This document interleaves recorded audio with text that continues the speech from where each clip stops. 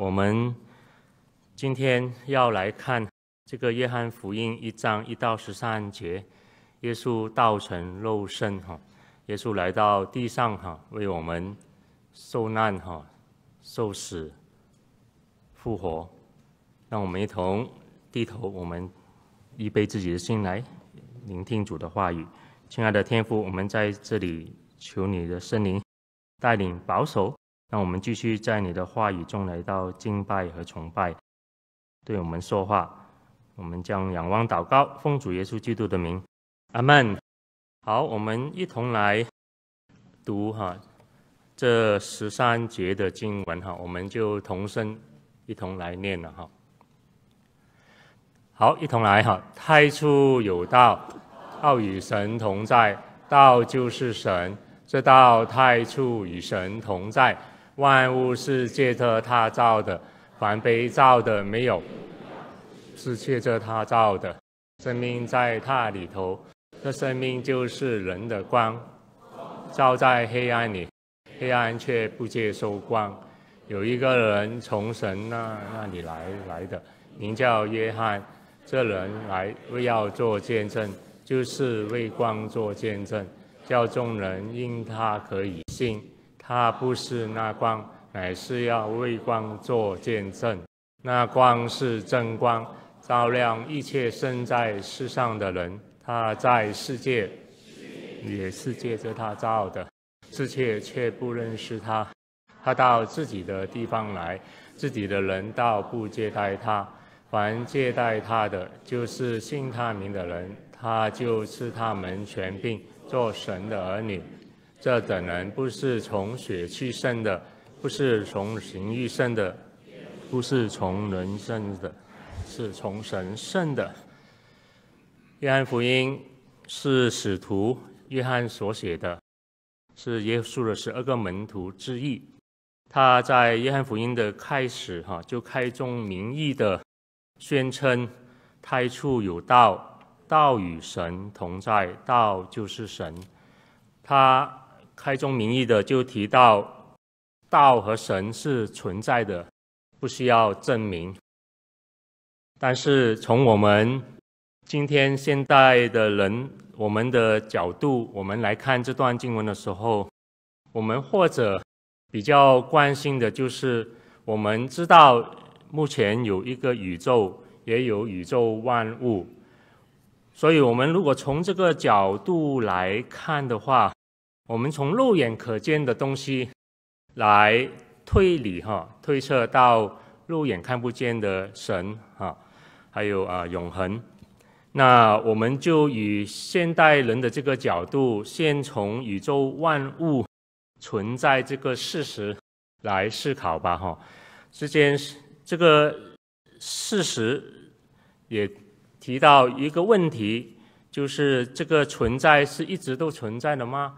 还是它有一个点，从无到有，也就是牵扯到宇宙万物的由来的问题。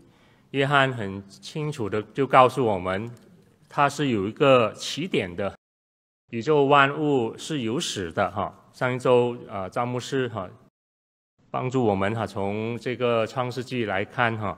啊，一章哈，第二章哈的时候，我们就看见宇宙万物的由来哈。所以宇宙万物是有始的哈。太初以创世纪一章一节起初，神哈创造天地哈。这个太初起初是一切的起点哈，也就是宇宙万物的起点。在这之后才有天地，因为神哈创造天地。那在这里，约翰继续的哈提到宇宙万物与道之间的啊这个关系哈。那道是希腊文哈 logos 的这个意思哈，也就是它是话语哈。那它是中文的一个翻译，也可以是说话哈动词哈。那更多的是话语，就是说话的内容。它是属于沟通的用词之一，也就是上帝要与人沟通。也许用我们今天圣经的话，就是上帝要向人启示哈，那这个启示哈，这个道指的是耶稣基督。我们有圣经的启示，我们更有道成肉身耶稣基督的启示，让我们知道神是谁。那神与人与万物之间有什么关系？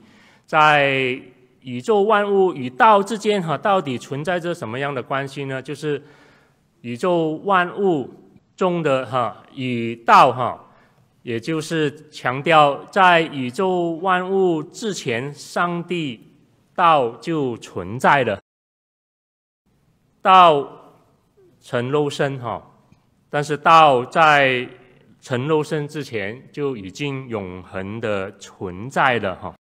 那宇宙万物是在有一个起点哈，但是上帝是没有一个起点的，它是永恒的存在，这就是宇宙万物与上帝之间的一个差别，一个区别。那宇宙万物的存在，从存有方面来说，它是借着道被创造的。神说要有光哈。就有光哈，然后就很多要有要有什么哈，事情就成了哈。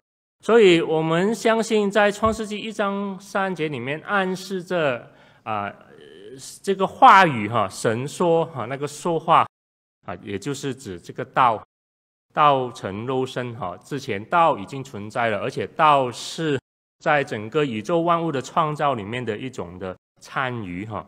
神说哈。要有光哈，光就有了哈，啊，这是基督徒认为哈，宇宙万物的由来哈是上帝所创造的。那问题是哈，Ryan Hansen 哈，我想他是一个无神论者，他提出了这样的一个思考的问题：如果上帝创造了宇宙世界，那么谁又创造了上帝呢？谁又创造了那创造上帝的谁呢？哈？因此，在这条四路线上的某一个点，我们必须承认有某些东西已经在那里了。那么，为什么我们不能超过上帝的概念，直接进入地球呢？哈，啊，他的问题哈，其实已经有答案了。但是，我觉得他问题也蛮，我也非，我们也非常的同意哈。啊，你总得有个始，一个起点哈，不能够无穷的哈推算下去。那我们和他之间的不同，乃是不能够接受上帝就是那个起点，他不能够接受上帝就是那个自有拥有的，他反而能够接受地球是自有拥有的，永恒存在的。我想这个差别不是在推论上，乃是在整个的前提上，基督徒的前提就是上帝是自有拥有的。所以他创造了宇宙万物。无神论者的前提是上帝不是自有拥有的，或者根本没有所谓上帝的存在。所以他唯一能够有的解答就是，好像哈 这个地球就永恒的存在。我想在这里我们很。清楚的，或者是很简单的一个答案。这个起点就是上帝是自由拥有的，他创造了哈，他这个东西你不用再找了，圣经就告诉你，他就是已经在那里，永恒在那里的上帝，是他创造了这个宇宙。我们为什么要跳过上帝的概念呢？反而上帝的概念是归于宇宙由来最好的、最合理的。一个解答。然而，我们要问：那如果宇宙万物的由来好像是一个科学，实际上它是一个神学的一个一个问题。但是这个问题和我们有什么关系？反正我已经存在了，那宇宙怎么来的？哈，这这个我我我我不管了哈。但是你不能不管哈，因为。我们怎么来的，和我们存在的目的和意义是有关系的，对不对哈？所以在这里提到，道是一切生命气息的源头。生命在它里头。我想，这不只是生命抽象的概念，更是指生命气息。我们能够存活，我们有那一口气，我们有有有一个活人该有的这这种的生命力，是因为上帝说要有光，要有要有要有，然后他创造了人，然后吹那一口气，生命气息，人就有了生命气息。一切创造都离不开上帝。的大能，但是上帝创造我们，不只是让我们有生命气息，能够活着，能够生活，它更是让我们能够有丰盛的生命。所以这里的生命在它里头，不只是活着，更是一种丰盛生命的赐予者。我们生活，我们的生命活得丰盛。有深度，有意义，这就是上帝赐予我们。他作为一个生命，在他里头，他给我们这丰盛的生命。所以，这个丰盛的生命，我们可以从道与神之间的关系，能够看出一个所以来。这里提到的这位神，哈，这个道与神之间存在着什么样的关系呢？这是一个三位一体的真神，三个位格合而为一，圣父、上帝、圣子、耶稣、圣灵，在创造里，在救赎里，圣父、上帝、圣子、圣灵都合而为一。所以我们看见这个上帝，这个神是一个丰盛的神。他有丰盛的位格，三个位格，他们是同尊同荣，也就是圣父、圣子、圣灵，他们享受永远的荣耀，相同的荣耀，相同的地位，相同的神性，他们彼此相亲相爱，彼此亲密团契。他们是一切丰盛生命的源头，三位一体的真神就是这样的丰盛。只有这样一丰盛，三位三个位格却又合而为一的，才能够赐予我们人生丰盛的生命。你我的生命有多丰盛呢？哈，这是很关键的问题。我们都活着，但是我们要活得有意义。我们要活得有目的，我们要活得有深度。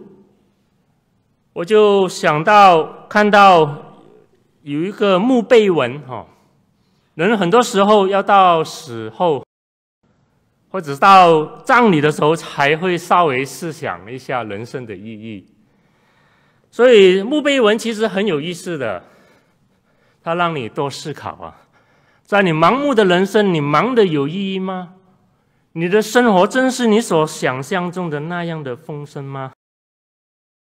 这个外国人的墓碑文很有意思哈，他为了减少那种的伤感，他们有一些的墓碑文是蛮有蛮风趣的啊。这个墓碑文是由一个呃英国人哈，他在他自己的墓碑上哈有这样的一个墓碑文，他的名字我要你留意，他的名字。叫做 penny 哈，penny 哈，penny 一分钱那个 penny，penny 哈。好，我们听听 penny 怎么说哈。John Penny 的墓碑文：Reader, if cash thou art in want of any, dig four feet deep, and thou will find a penny. 读这碑文的人要留意啊！如果你想要钱的话，挖是因此深，你就会找到一个 penny 哈，一分钱，是不是很风趣？我们笑了之后哈，也许我们应该思考一下这个碑文所说的。第一点，如果人没有灵魂，没有永恒的话。只有一副躯体，人死如灯灭，没有所谓的上帝永恒，人也不是上帝所造的。人死后归于尘土，这个尘土值多少钱呢？也许是一个 penny。正如片里所说的，你只能够找到什么一分钱。如果人只剩下尘土的话，第二，我们想到，假设骗你有很多钱的话。你挖了四英尺深，找到了许许多多的财宝，但是是不是代表着你的人生就是有深度呢？是不是你的钱多，人生就有深度、有丰盛呢？主耶稣基督说：“人的生命不在乎家当，也就是家财丰盛。”我们。家财丰盛之外，我们的人生还有什么样的深度呢？假设一天我们埋在地上，我们得问：我挖四英尺深，我在你我的身上找到什么样的人生的深度呢？我觉得很好。如果我们人生活着不只是为了挣钱，我们挣钱养家，让。让我们的家庭、孩子能够活得更好，其实这是很高尚的。如果我们能够多做一点，为社会谋一些的福利，做一些的好事，这也是很崇高的。你不只是为自己、为家庭，你更是对社会有贡献。但是，上帝要给我们的生命。是比这些更丰盛，是丰盛到一个地步，你所不能够想象的。在你之外，在你的家庭之外，在你所处的社会之外，上帝还要给你一个更丰盛的生命，一个永恒的生命。所以，耶稣在约翰福音十七章说到：“什么是永恒丰盛的生命？”认识上帝独一的真神，并且认识他所差来的耶稣基督，这就是永生了，这就是永恒丰盛的一个生命了。认识耶稣基督，既然这个生命这样好，为什么很多人却不要呢？你我还没有做基督徒之前，我们可能不止一次听见过福音。也不止一次有人邀请我们接受耶稣基督，得到这丰盛的生命。然而，为什么我们没有马上的接受呢？也许这段经文给我们很多人有那种共鸣。世人对道的反应，我们没有信主之前对道、对耶稣基督的反应，也许正是如此。这生命就是人的光，光照在黑暗里，黑暗却不接受光。那光是真光，照亮一切生在世上的人。他在世界，世界也是借着他照的，世界却不认识他。他到自己的地方来，自己的人倒不接待他。这里提到的是一种光与暗的比喻。光与暗的比喻，用来说明道与世人之间的关系。黑白、光暗，其实不只是在圣经里面常用的一个比喻，更是所有人类哈文化文明里面哈都会看见的啊，都会使用的一个比喻，因为他们之间的这个对照是这个这个。是很很鲜明的，一真一反哈，一黑一白哈。我晓得你没有留意到，我今天穿了一个白色的西装哈，啊，詹姆斯穿的是个黑色的西装哈。我想我们没有其他的意思了，就是一个白西装黑西装哈。但是我就不知道我们的领位胡浩弟兄他穿了一个灰色的哈，啊，是没有特别的含义哈，不得而知哈。但是在圣经里面，在很多的文化里面，光与暗哈，它是有特别的啊一个含义的哈。在圣经里面，约翰就在这里用来强调，那是道与世人的关系。世人是活在黑暗里面，哈，这是世人的一个光景，活在黑暗里面。它指的是活在死亡和罪恶的权势底下，就是你不能不犯罪，你不能不死，人人都必有一死，因为。死是来自于罪的后果，好像我们活着都经历过哈，也必要经历哈。有一天，我们都要埋在那四英尺下，成为另外一个 penny。这是人生的宿命。人活在黑暗里是很真实的。人需要光的生命，或者是光明的一种的生命，也就是耶稣基督所赐的这种丰盛永恒的生命。只有耶稣基督所赐的这种丰盛永恒的生命，才能够摆脱罪恶和死亡的权势。但是，人需要正光照耀。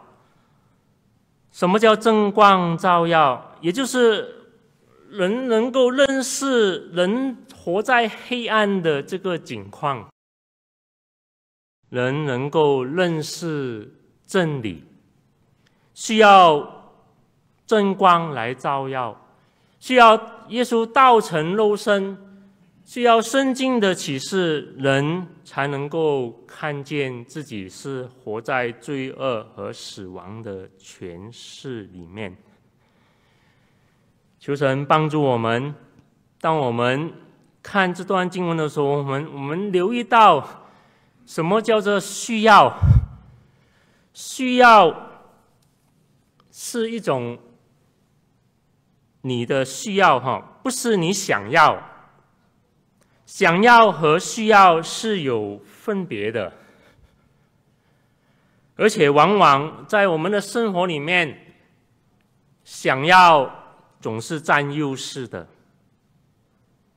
我打个比方，例如最近我们搬家了哈，我和师母搬家了哈，从北漂到南了哈，南移了，南迁了哈。很多时候，只有在搬家的时候，你才思考到。到底什么是需要，什么是想要？活在当刻的时候，我看见我就想要，我就买下来了。真是需要吗？不见得，但我想要。那只有到搬家的时候，怎么怎么这么多东西啊？真是我需要的吗？也许都是我想要的，不见得是我需要的。那时候才后悔了，搬完家了又回到我想要了哈，直到下一次搬家又说需要很重要。人生就是这样，我们在这种的情况底下哈，倒是说哈，想要哈占了上风上风，但是很多时候是需要哈，我们却不想要。例如说，今天你生病了，你需要看医生，你需要吃药，你需要接受医这个疗程，但你不想要，这个药太苦了，这个疗程太太花时间了，太太呃太太辛苦了，但是你需要，可能你身体状况。需要改善哈，你需要运动，但是我就不想运动了。讲了好几年了，我就不想啊。直到有一天你真是亮红灯了，哈，不是你想要，乃是你什么需要，对不对哈？平时可能什么都吃哈，直到一天亮红灯了哈，要减糖了，要减这个减那个的时候，不是你想要，乃是什么？你需要弟兄姐妹，我们很多时候哈需要看见而不是想要。黑暗对世人的反应的一种的抗拒，他们是需要，虽然很多时候他们是不想要。耶稣是道成肉身哈，在世界哈，到自己的地方来哈，但是黑暗什么呢哈，却不接受。不认识哈，不借贷，所以黑暗，它需要光，我们的人生需要光明的生命，我们的人生活在黑暗的权势里面，我们需要正光照耀，但是我们却不想要，我们不接受。不认识，不接待。耶稣道成肉身是在自己的世界，这是他所创造的世界。圣经刚才我们说过，开宗明义就是提到，这是他所创造的世界。他到自己的地方来，宇宙万物都是他所拥有的，他是主人。但是主人来到自己的家，既然不被接待，甚至不认识。不接受，什么叫不接受呢？哈，也许在这里的经文的一个翻译，可以让我们做一些的思考。因为这节的这句话哈，在希腊文语里面也可以翻译成为“不能胜过”，不能胜过，cannot overcome。那他们的差别。如果不接受的话，也许是一种冷淡拒绝。他知道他需要，或者甚至他不觉得有需要，他就冷淡回应了：“我没有这个需要。”其实，当然他是有需要，或者他是不想要。另外一个，如果把它诠释为不能胜过的话，它不只是冷淡的拒绝，它更是什么呢？激烈的抵挡，甚至要压迫、要吞噬，偏要尝试把光吞噬掉，因为光让它很难看，光激起它里面的一种的抵挡，一种的抗拒。他知道他在黑暗里，但是他不想要，他激烈的反对，他也不愿意别人想要的人去得到。在约翰福音的上下文，也许这两种人都有。我们在这里的当中，我们没有信主之前，也许我们每个人都有不同的这种的光景。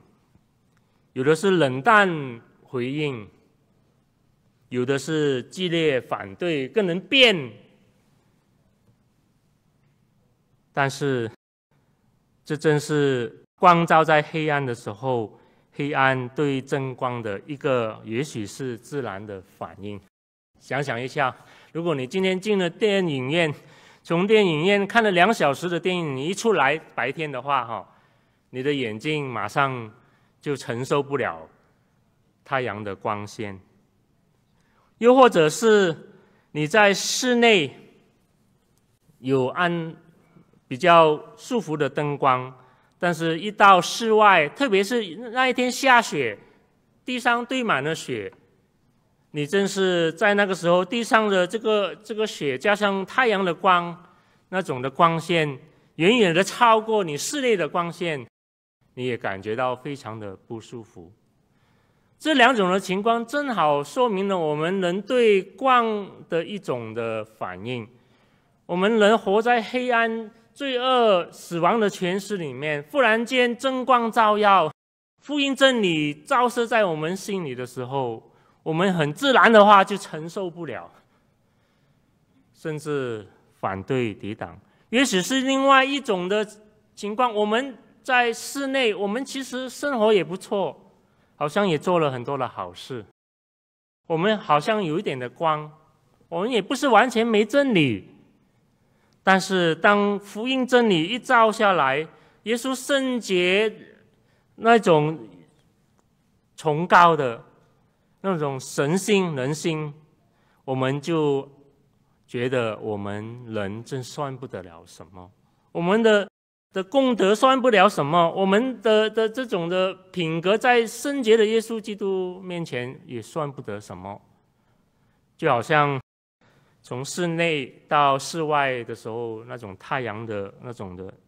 极度的光照耀的时候，嗯，所以我们都必然会有自然的这种的反应，活在黑暗许久的一种的时间。那我们应该怎么样比较正向的回应这个道呢？就是要了解到你在黑暗，你我在黑暗里面接受光的时候，我们要。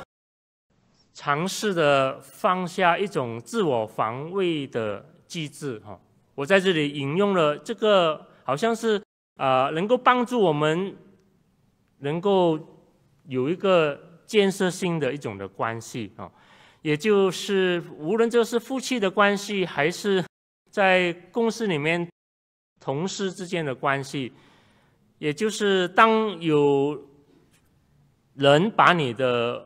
不好的地方指出来的时候，哈，你应该怎么样的来到回应，哈？那这种就是一种自我防御的机制。同时，我想也可以用在我们与神之间的关系。当福音真理照射在我们心里面的时候，我们那种拒绝光的反应，我们可以怎么样的来处理，哈？如何可以更正向的回应？神的道，哈，也就是真光，哈。第一，就是放下自我防御的机制。我们这个 self defense，自我防御的机制是，其实是一种自我保护的机制，哈。它实际上是要拦阻你，哈，获得你一直在寻找的一种亲密关系，或者是你一直想要在生命中实施的一种的改变。你知道你的生命里面，你的夫妻的关系，你的。家庭的关系需要改变，你在寻找一个更和睦、更亲密的一个关系，好像你们之间有一个问题隔阂，所以当另外一半提出他看见问题所在的时候，我想我们很自然的一个反应就是我们自我保护。在一种的关系里面，我们自我保护，但是换一个角度，也许你要看见，在这个自我保护机制之外，就是一直你要在寻找的这个亲密的关系，无论是夫妻的关系，还是与你与神之间的那种的关系。我们还没有信主之前，我们可能自然的一个反应就是，听到福音的话，我们就很反感。抵挡，也许你可以试想一下，这是上帝在寻找你。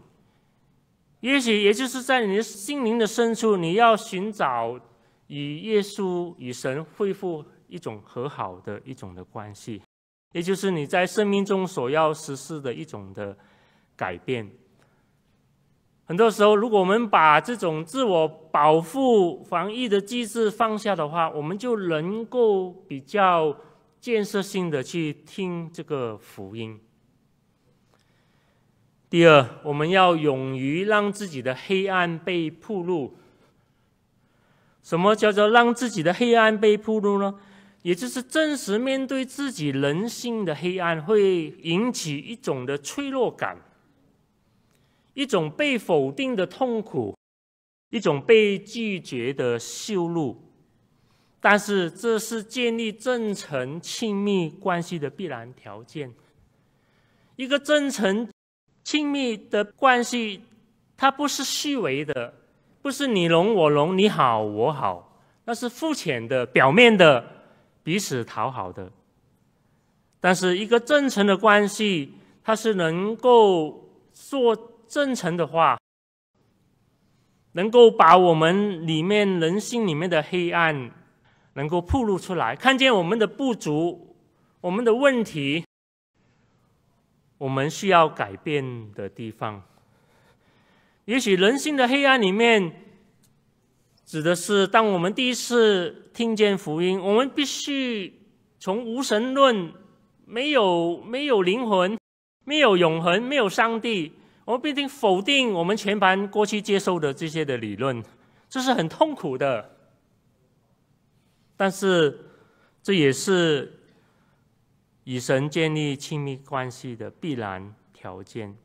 也许这种引发的是我们人生追求赚钱、靠自己的这种的价值观、这种的人生观。当你说到你需要依靠主耶稣基督，不是你靠你自己的时候，你只有能够相信，不是靠你的功德的时候，我们好像全盘的被否定了，我们的人生好像全盘的的的的被否定了。我们愤怒，我们我们。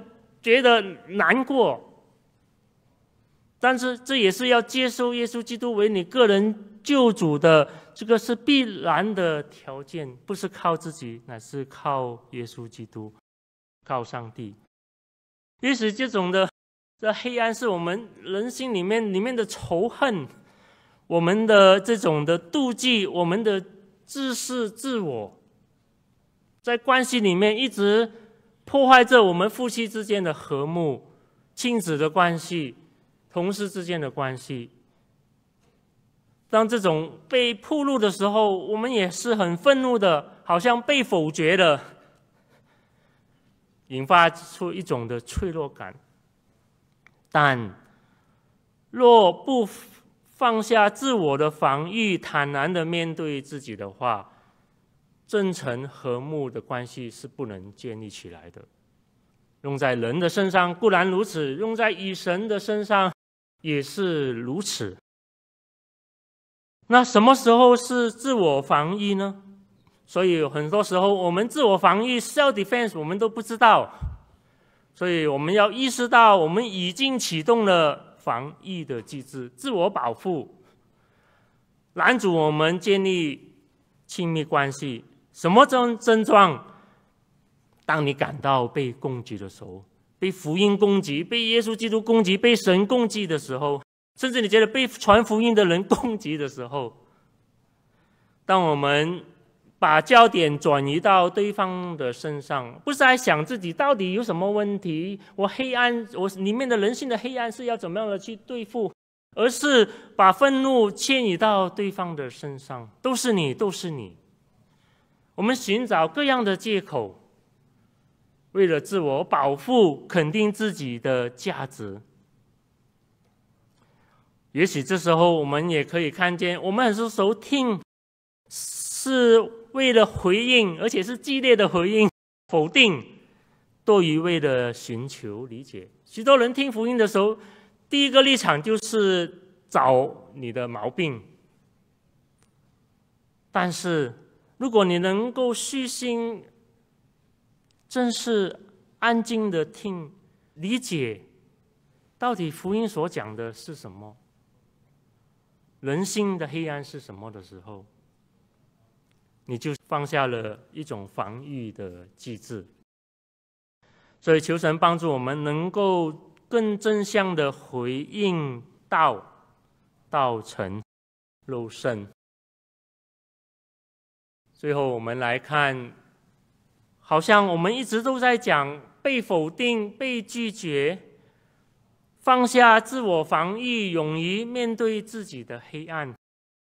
其实，你要看见福音背后，如果你能够超越这个自我保护、自我防御之话，你能够看见那是上帝在向你召唤你，在呼召你，在接纳你，在寻找你。因为凡接待他的，就是信他名的人，他就赐他们权柄做神的儿女。这等人不是从血气生的，不是从情欲生的，也不是从人意生的，乃是从神生的。接待，这是上帝在寻找你，接待你，接纳你。什么是叫接待、接纳呢？接待就是相信、信靠，不是信靠自己，乃是信靠。主耶稣基督。什么叫相信、信靠、承认人的犯罪的光景，承认我们需要主耶稣基督的救赎及他所赐的丰盛的生命，并且接受耶稣基督为我们个人的救主、生命的主，把我们一生交托在他的手中，让他来引领。这就是福音了。他为我们的死。为我们的罪死在十字架上，复活，战胜了罪恶、死亡的权势。这是我们下周我们的这个复活节、受难节，我们要真有深度的去思想耶稣基督的救赎，因为相信借贷，我们就蒙神授权做神的儿女，这是一个受养的隐喻。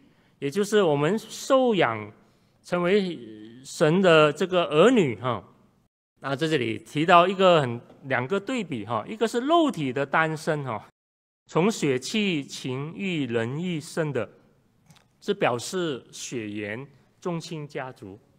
我们每一个人都是从我们的母亲的肚子里面出来的，我们每一个人都有第一次的诞生。从血气、情欲、仁义、血缘关系，我们的家庭就是我们的宗亲家族，血缘关系。但是属灵有一个诞生，下一周我们要有这个洗礼哈，就是你属灵的诞生就是重生，也就是从神生的，表示是一种属灵信仰的关系，是一种你成为神家里面的人。教会的一个成员，这是属灵的家族。我们每一个人都需要重生，这就是从灵而生，从神而生。当你接待主耶稣基督为你个人的主、生命的主的时候，你就重生。我们重生的基督徒，我们有一个权柄。我觉得很可惜的是，很多弟兄姐妹没有好好的使用这个权益。这个权益，这个权柄是神赐给我们重生的基督徒的，就是我们有祷告的权柄。我们能够向神祷告。我们一同回到教会，履行使用神给我们这个作为儿女的权柄，来到一同的祷告。在那个祷告之前，今天我们也以这个祷告来结束。如果你还不是基督徒的话，怎么样是算是借待他成为神的儿女呢？我想。做这个祷告是一个很好的开始，弟兄姐妹，我们就一同的起立哈。